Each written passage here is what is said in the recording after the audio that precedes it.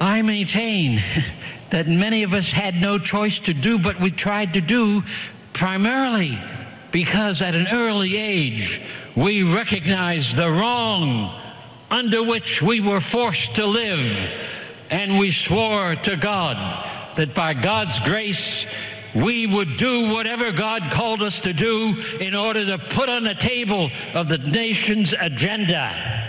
This must end. Black Lives Matter. And so between 1953 and 1973, we had major campaigns year after year, thousands of demonstrations across the nation that supported it. We had folk in the Congress, folk in the White House, uh, folks scattered across the United States who were beginning to formulate what the solutions are for change. The media makes a mistake when John is seen only in relationship to the Voting Rights Bill of 65. However important that is, you must not remember that in the 60s, Lyndon Johnson and the Congress of the United States passed the most advanced legislation on behalf of we, the people of the United States, that was ever passed. Head Start, billions of dollars for housing we would not be in the struggle we are today in housing if President Reagan hadn't cut that billions of dollars for housing, where local churches and local nonprofits could build affordable housing in their own communities, being sustained and financed by loans from the federal government. We passed Medicare. We passed anti poverty programs. Civil Rights Bill 64, 65, voting rights bills, a whole array.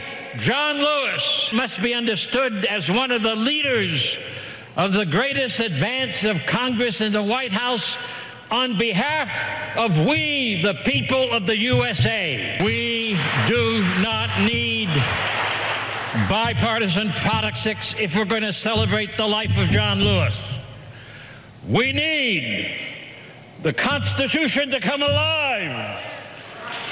We hold these truths to be self evident.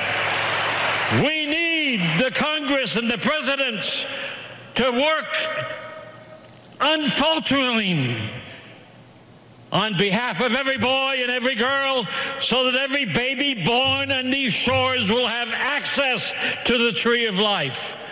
That's the only way to honor John Robert Lewis.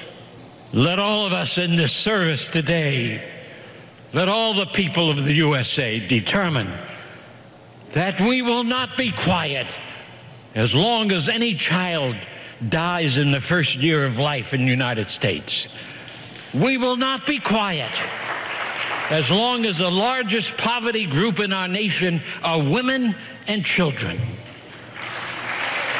We will not be quiet as long as our nation continues to be the most violent culture in the history of humankind. We will not be quiet as long as our economy is shaped not by freedom, but by plantation capitalism that continues to cause domination and control rather than access and liberty and equality for all. The forces of spiritual wickedness strong in our land because of our history. We have not created them. John Lewis did not create them. We inherited them. But it's our task to see those spiritual forces. I've named them racism, sexism, violence, plantation capitalism. Those poisons still dominate far too many of us in many different ways. John's life was a singular journey from birth through the campaigns in the South and through Congress to get us to see that these forces of wickedness must be resisted. Do not let our own hearts drink any of that poison. Instead, drink the truth of the life force. If we would honor and celebrate John Lewis's life, let us then recommit our souls, our minds, our hearts, our bodies, our strength to the continuing journey to dismantle the wrong in our midst and to allow a space for the new earth and new heaven to emerge. I'm Egberto Willies, host of Politics Done Right, an independent news program. I post several news videos of interest every day. I ask you so kindly to subscribe to my channel and please leave me some comments. Thank you very much.